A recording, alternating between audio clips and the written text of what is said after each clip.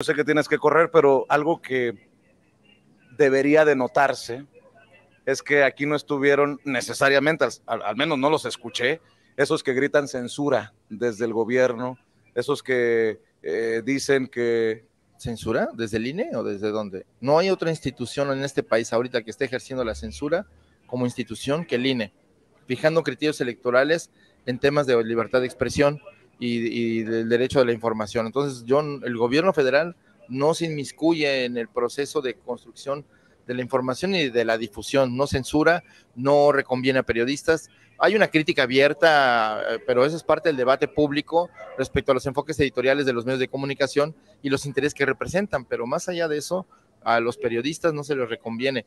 Y creo que este, al contrario, se ha empleado el mecanismo de protección, desgraciadamente, pero también es una política de, de este gobierno proteger a los periodistas cuyos eh, amenazas pues, provienen del crimen organizado o de autoridades locales, que es algo que se calla mucho eh, gobiernos estatales, gobiernos municipales, funcionarios medios, son los que amenazan, son los que eh, hostigan y hasta incluso agreden a los periodistas. Ahí debía, yo soy partidario de que se califique como delito grave estos, estas agresiones estas, a los periodistas.